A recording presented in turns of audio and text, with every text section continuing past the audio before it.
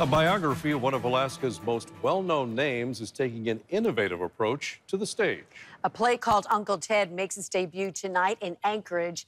Cassandra Mansell tells us how the life of Senator Ted Stevens made it to the theater. And don't you just love it?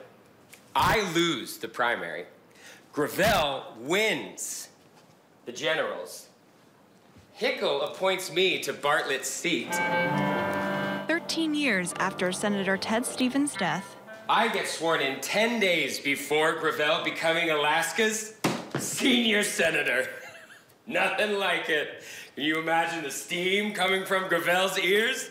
and more than five decades after he was first sworn in in 1968, the life of Alaska's longest serving U.S. Senator has been turned into a play.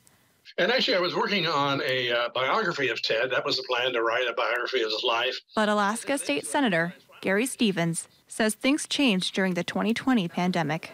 And as I got into it, I realized, wow, his life was so uh, dramatic and theatrical with uh, airplane crashes and service in, in World War II in China and, and the trial and, and all the effects of his life. I thought it would really work well as a, as a piece of uh, stage. Three years of rewrites, planning, and production, it is finally ready to make its world premiere. Oh, he didn't like me much before. He sure as hell hated me now. I'm just anxious to sit in the audience and see if we hit the marks that I expected the uh, play to do. Here we have his lectern. Stevens partnered with Kelly Randall, who is directing the one man play. So he started out kind of cataloging all these events in his life, and then with my help, has condensed it down to this production in which is Ted's words of kind of his last goodbye. I would not want to be around here if I'm not effective. Senator Gary Stevens says it was not the senator's words, but how Alaskans knew him, which is why he decided to call his play Uncle Ted. So Ted became known as Uncle Ted, and um, it was always sort of a, a, joke in a way. I'm not sure that he appreciated it too much. He didn't call him refer to himself as Uncle Ted at all, but um, yeah. So I, I think it was just a title that Alaskans gave him at that time.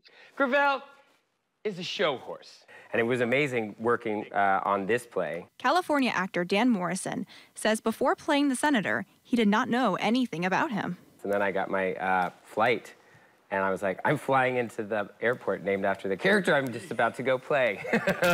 Stevens says the play features key moments from the senator's 86 year life you really have to pare it down to those issues that are most important that really uh, bring him to life. And Stevens says his hope is to help audiences understand how he sees what the senator's life meant to the entire state.